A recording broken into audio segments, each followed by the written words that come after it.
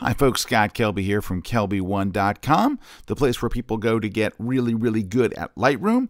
And we have another layout for us here. This is a well, we're doing a wedding book layout, but it, you know, this layout becomes whatever you drag photos into it. If you drag uh, photos of cars in here, it becomes a car layout. But in this case, we're doing a wedding book layout. And again, this is one that Lightroom doesn't have a default template for, right? So you have to build it yourself. And so if you want to download this template, you can do it from lightroomkillertips.com because I made it there available for you. If not, you can learn to do it right now. And it's really, really simple and really easy. And this is the layout over here. Of course, not this side, just one big photo. That's duh. But over here, you have one, two, three, four, five right? So three wide photos, two skinny tall ones, and then this big tall one. And that's the layout we're going to do. We start over here in the print module and our layout style has to be custom package. That's the one that allows us to kind of drag and drop any size image we want. Then we're going to go down here to cells and we'll start by clicking on the two and a half by three and a half cell, this one right here. And we're going to kind of make it smaller. So hold the shift key and bring it in a bit. Now, once you have one, you get to do this weird, tricky thing that sometimes Lightroom will let you duplicate it exactly by holding the Option key on Mac or the Alt key on Windows. And see how it copied perfectly? Like, wow, that worked great. Yeah, it doesn't always work for some reason. All right, so now you need a third one. Click on it, hold the Option key. Oop, it made another copy. It's a miracle. All right, I kind of position. Notice how I'm positioning this right between the other two. Now, it, by default, it's going to snap to a grid. So it'll go snap, snap as you move it.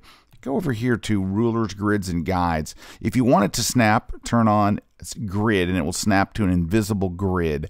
I have it off here only because it's just been a little sticky trying to get these little boxes to fit. So I finally got like, forget it, I'll just turn it off. But it's your choice. Now we have three boxes that are the same size. Let's go ahead and click and hold the Option key on Mac, Alt key on Windows, drag ourselves a copy, and drag this here. Now, of course, everything has to line up, so you're going to tuck it right in there. All right, and to get another box this size, hold the Option key, click, and drag. I can't believe it all worked that well. All right, there we go. Now we have one more to go. This one's a little off by just a tiny bit. There we go.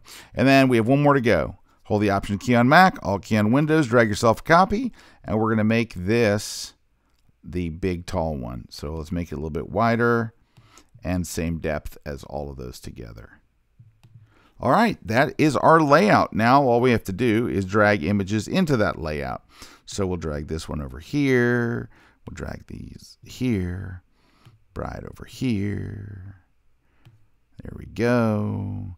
Drag this one here. Hey, by the way, if you hold the Command key on Mac or the Control key on Windows, you can move it around inside the cell. All right. And then we have one more to go. That would be probably this one right here.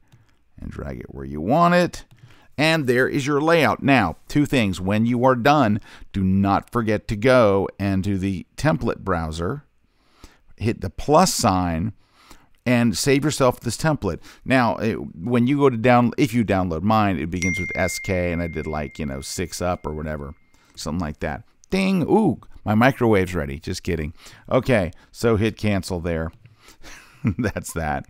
And uh, there's your uh, there's your basic basic layout, and save it as your template. Now, what you want to do then is at the very end go to print job and save this file as a JPEG right? Save this file as a JPEG, save it to your desktop, and then re-import it into Lightroom so you can put it into the book module. Because again, this is a size that that isn't in one of the templates. It's not a template available, but that doesn't mean you can't quickly make this in the print module, save it as a page, and bring it back into the book module as your own awesomely custom page.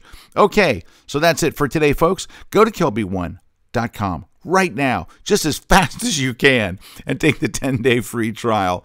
We've got so many classes on every Lightroom topic you can imagine, full length classes in full cinematic HD. So, anyway, go check it out. take the 10 day free trial, start learning right now at KelbyOne.com. All right, guys, take care. We'll see you next time.